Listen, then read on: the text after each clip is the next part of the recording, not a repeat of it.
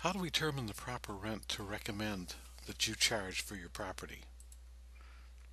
Renting a home is a lot like selling a home in that we need to do our due diligence to make sure we're coming up with the, the best price so we don't end up leaving some money on the table or overpricing the property.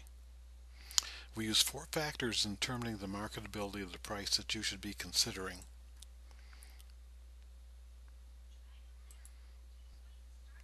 First is location. We do a detailed market analysis of comparable properties that have rented within the past year that are in the same area of Hampton Roads as your place. In other words, if you have a home in Suffolk, it wouldn't make a lot of sense to use a home in Virginia Beach of similar size and features as a comparable. Next, we look at condition.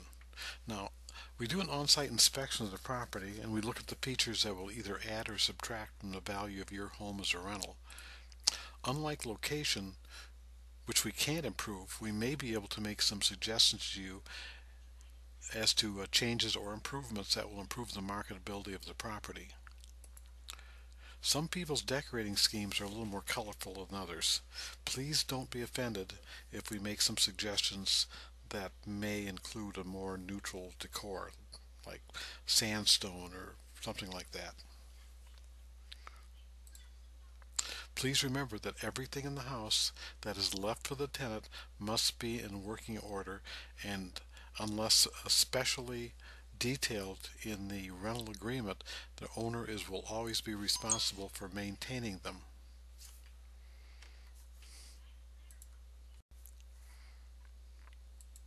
We need to look at competition. We need to look at how many comparable properties are currently on the market in near proximity to your house and how long they've been on the market and what features and benefits they might have. I do my best to put myself in the place of a tenant who has a fixed amount of money when I'm looking at, at recommending a price for your uh, rental. If say for example I'm recommending a price of $1,700 or $1,700 looks like it should be about where this property should be I like to go go on the MLS and see what I can get for $1,700 and if there's a lot of houses out there that offer more than yours does for the same amount of money then we might need to make an adjustment. Rental price. We'd like to meet with you weigh the pros and cons, and determine the starting asking price. Some of the factors we're going to use in recommending the rental rate is uh, the median rental rate per square foot of comparable houses, the rental rate versus value of comparable houses, number of comparable rental properties in proximity to your house, and I should say that I'm sorry, but your mortgage payment is not a factor in determining a competitive rental rate. It may be a factor in determining if you can afford to rent your house or not, but it is not a factor in determining rent. Lastly, you should always remember that we work for you. We suggest prices, you make the final decision.